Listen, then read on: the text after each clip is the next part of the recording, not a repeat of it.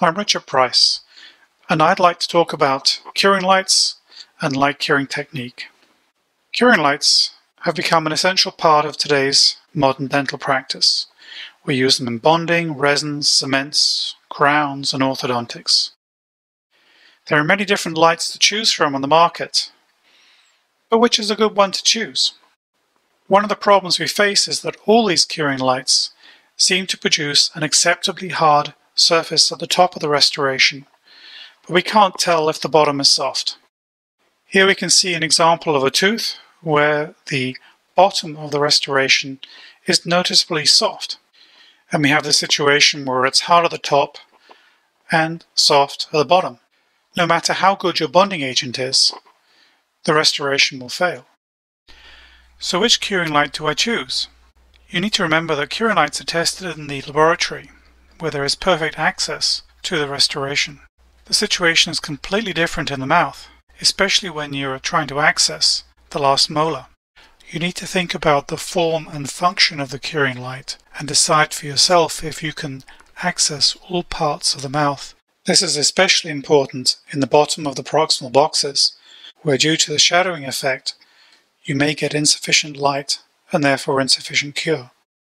As curing lights have become smaller, you'll notice that some curing lights have got very small light tips at the end of them.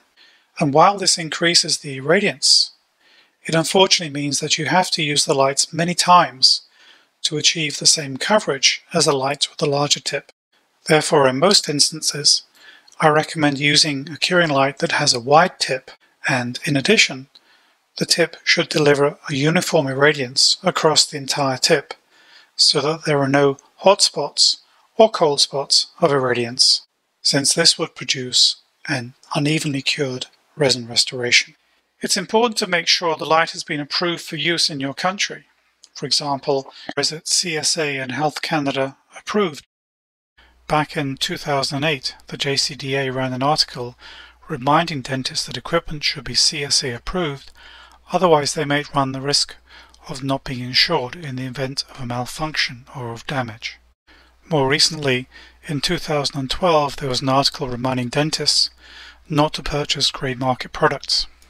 As reported by Gordon Christensen, many of the lights that are available online only have a very small tip, which, although it boosts the irradiance, means that you have to use the light many times to achieve the same coverage. In addition, the electrical output from these lights is not very stable as the battery discharges. This means that over time the output decreases, often without the operator knowing. Before light curing, check to see if there's any damage or debris on the end of the light guide, and if there is, remove it.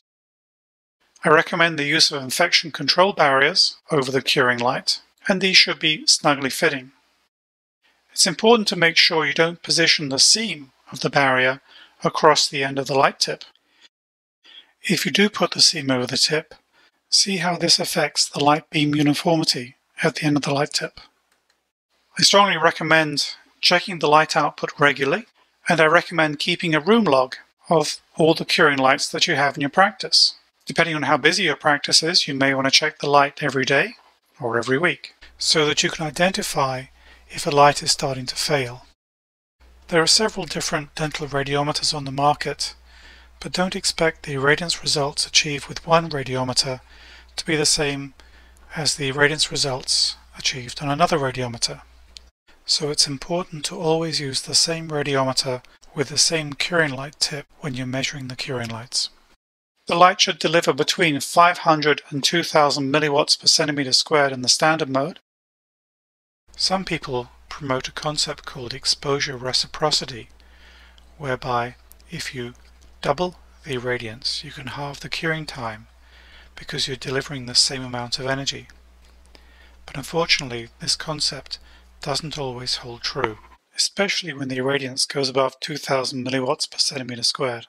The danger is that some manufacturers have produced very high output curing lights in an attempt to reduce curing times. If you use these high output lights, it's important to make sure that you use them properly, otherwise they can burn the tissues. The light should be placed directly over the restoration, and you should minimize exposure to the gingiva.